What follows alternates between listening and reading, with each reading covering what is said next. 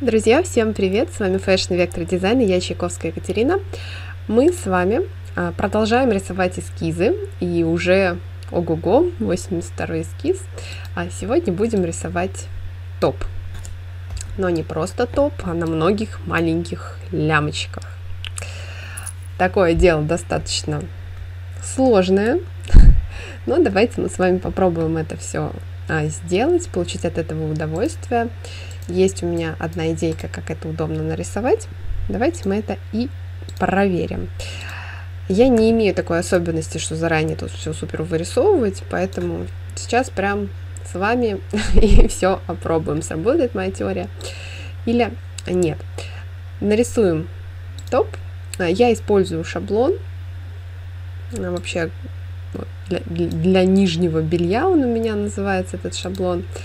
А, но можно использовать и другие. Просто это мне кажется более удобным для того, чтобы рисовать такого плана а, вещи. Так, и вот у меня такая будет блузочка. Она будет достаточно коротенькая, но она будет свободная. И вот здесь будут всякие такие вот штучки. А, немножечко там у меня вот скривление неправильное. Сейчас мы уберем потому что очень хотелось бы, чтобы вот эти линии были прям вот волшебные. Да. Ну и вот сюда уйти. Отсюда потом мы с вами сделаем раззеркаливание. Можно рисовать симметрично, можно рисовать асимметрично. Я как человек достаточно ленивый в этом вопросе, предпочитаю рисовать симметрично. А вы можете выбрать свой вариант, какой вам больше нравится. Так, сейчас откроем, чтобы не было у нас тут с вами никаких штук. То, что лишнее, удалим. Там какая-то лишняя точка, вот она нам все портит. Давайте посмотрим, что тут у нас произошло. Основу мы с вами уже сделали, так что теперь можем просто поправить то, что тут происходит. Немножечко вот здесь вот погладить, сделать это все более мягеньким да, чтобы оно так вот все было вот приятненько, гладенько и все остальное. Так, соответственно, здесь вот тоже сделаем минус. Вот такая штучка. Вот здесь тоже некрасиво. Исправляем. Так, что будет здесь еще по низу? О чем бы нам надо с вами не забыть? Ненавижу это делать, но без этого особой красоты не получается. Это то, что мы с вами видим. Это вот эти вот складочки. У складочки есть обратная сторона. Она не пустая. Там будет кусочек ткани виден. И вот эти кусочки нам с вами обязательно нужно туда вернуть, потому что мы глазками это будем видеть. Значит, визуально оно все там должно быть. Единственное, что важно, эти все кусочки, чтобы они у вас не выпячивались, а были всегда на заднем плане. Тогда будет, будет все хорошо, спокойно смотреться. Вот такая история. Теперь, конечно же, ну я же не могла просто выбрать, да, мне нужны здесь складочки. Сейчас мы нарисуем складочки. Начала говорить про тесемочки, начала рисовать складочки. Ну, нормально все, да? Сейчас все будет. Сначала рисуем свободную часть, потом все остальное.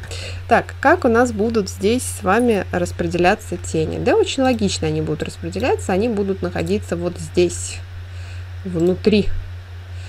Ой, вот то, что я не люблю, то и произошло. Создаем новый слой. Это блокируем. И рисуем всю эту красоту на новом слое, потому что цепляет она. Это ерунда. Вот не, не люблю, когда цепляет. Прям очень неприятно. Цепляют линию, по которой нарисована складка. Это прям вот бррр. Вот. Сейчас мы их отдельно быстренько нарисуем. На отдельном слое, чтобы ничего никуда не цеплялось. И вот эти теневые части складочек мы с вами обозначаем вот эту вот теневую часть.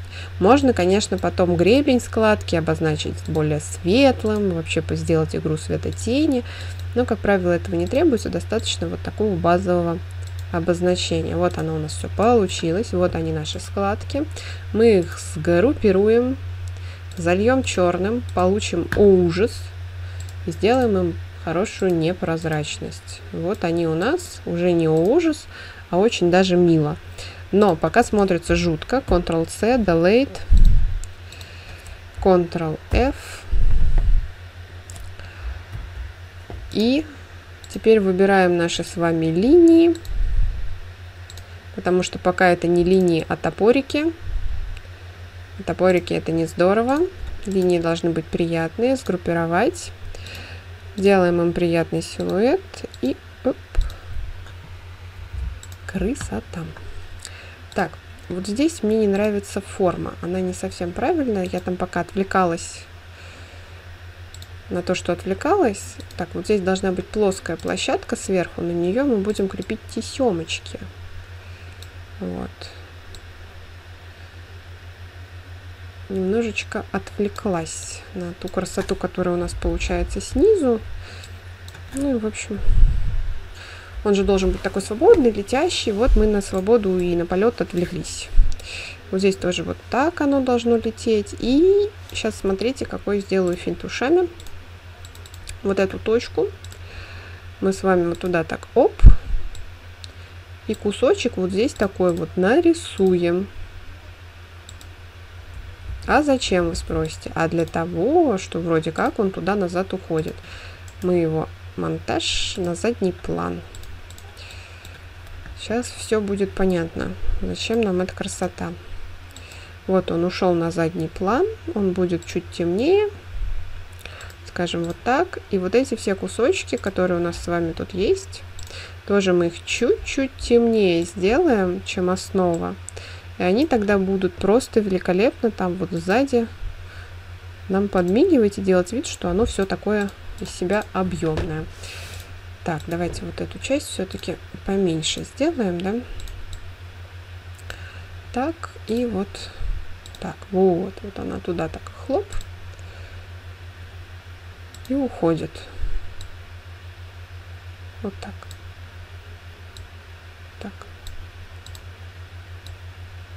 Вроде есть, а вроде нет.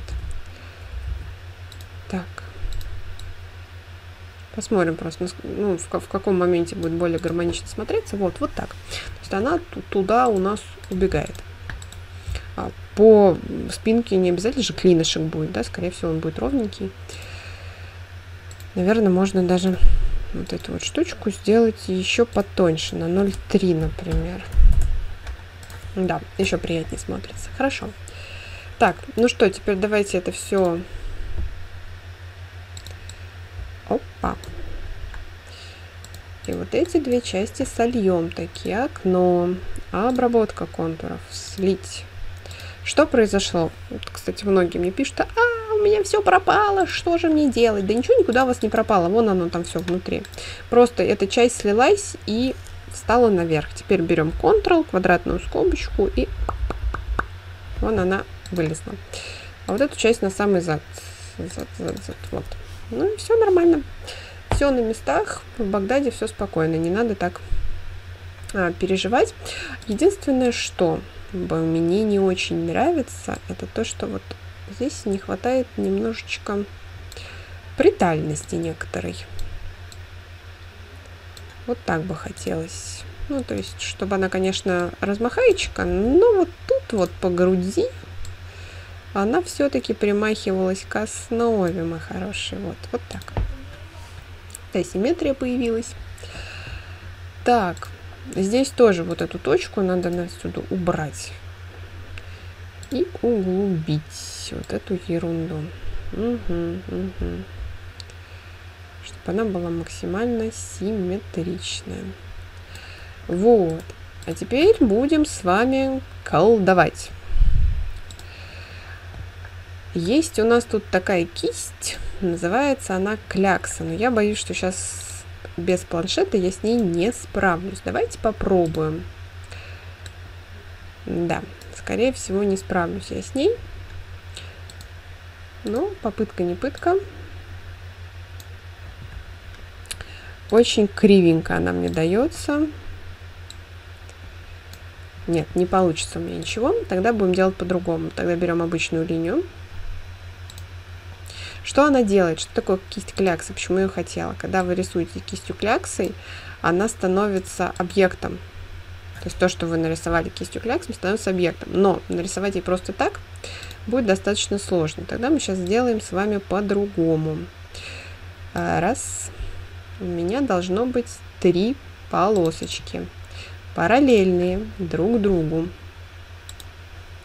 Рассказываю один маленький секрет, как рисовать, когда у нас много завязочек. Давайте даже 4 сделаем. Должны они у нас быть все одинаковой толщины, все ровненькие. О, ужас! Как это все нам с вами сотворить? Вот оно вот так у нас на шею все приходит, да? Здесь как-то оно так немножечко будет присобираться, естественно. И можно было бы и линиями оставить, но лучше, чтобы оно было объектами. И вот оно, наверное, должно быть и потолще, правда? Ну, конечно, тонкие хорошо. А вот, это вот у нас одна часть. Блокируем слой, создаем новый. И вот будем делать вид, что от этих штук у нас вот туда, вглубь, ну там к спинке где-то, эта штука цепляется. Мы сейчас, когда слои закончим, оно там все будет хорошо себя чувствовать. Так, раз, два, три и четыре. Вот.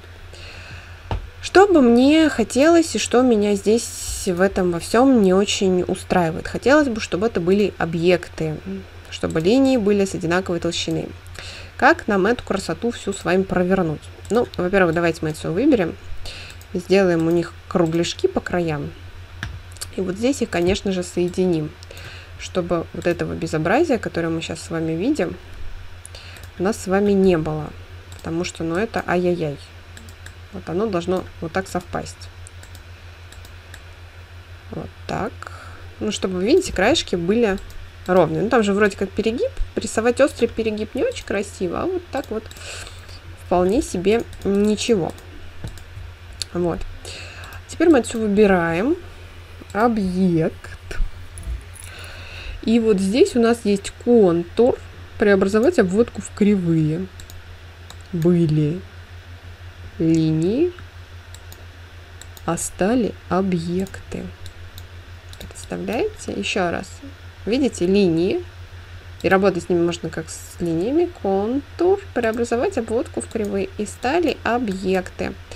Соответственно, теперь я с ними могу делать все то же самое, что с обычными объектами. Так, давайте мы их сделаем здесь серенькими. А здесь посветлее, серенький, введем на задний план. Копируем, Ctrl-C, Delete, убираем два технических рабочих слоя и внедряем в наш эскиз, Ctrl-B. Вот, вот эту часть мы уводим назад. Поскольку это тесемочки, мы им сейчас сделаем линию контура, так вот очень грубо, 0,25. Смотрите, какая прелесть. И раззеркалим всю эту красоту. Чпок. Вот такая история. Представляете, как можно незамысловато нарисовать вот такую сложную и абсолютно ровная. На каждом же, смотрите, вот абсолютно ровная ширина, и это объекты, а не кисти. Вот, вот. Век живи, век учись. Я тоже не все сама придумываю, не надо думать, что я какой-то там супергений, я тоже подсматриваю много вещей, но вот эти вот, э, можно то же самое объектной кистью нарисовать, но с объектной кистью нужен планшет, а здесь мы с вами справились без планшета. Мы с вами сначала нарисовали контуры, а, соответственно, а потом их сделали объектами, и вот такая красота у нас с вами получилась. На мой взгляд, очень даже.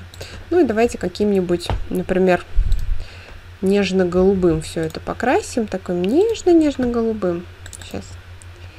Такой вот прям о, прелестно нежно-голубой цвет. Вот здесь опять встает вопрос с тенями, и будет все то же самое, что я и говорила. Смотрите, удобно, что они у нас сгруппированы. Выбираем их тоже голубым и даем их вот таким оттенком. Сразу будет лучше, чем с серым.